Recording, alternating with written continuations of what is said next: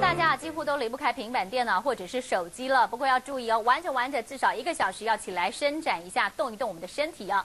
因为骨科医师表示，最近因为姿势不良造成脊椎侧弯的青少年患者，居然增加了将近有两成，怀疑可能就是因为玩平板电脑或者是玩智慧型手机出了状况。医生还特别说，严重的话，这可能会压迫、损害到我们的心肺功能。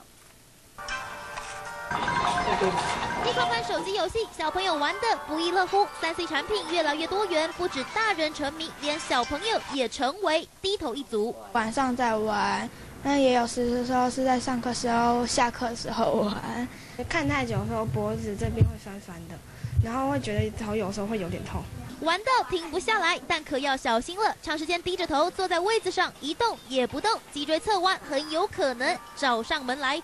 根据医师统计，近来青少年因为姿势不良造成脊椎侧弯的患者就增加了两成左右。心肺功能哈会会受到压迫。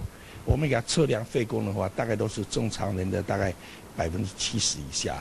检查自己有没有脊椎侧弯，其实不难，只要立正站好，发现肩膀是一高一低，或者身体往下弯的时候，背部的其中一边特别凸起，都是脊椎侧弯的警讯。因此，医生提醒，不管是大人还是小孩，平日都要多多运动，让身体能够均匀伸展。